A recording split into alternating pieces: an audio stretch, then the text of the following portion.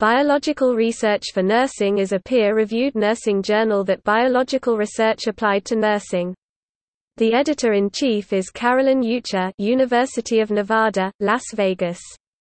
The journal was established in 1999 and is published by Sage Publications.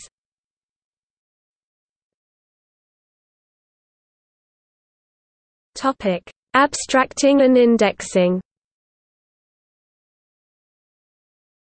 The journal is abstracted and indexed in Scopus and the Science Citation Index expanded.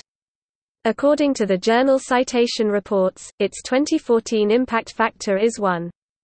427, ranking it 22 out of 110 journals in the category Nursing.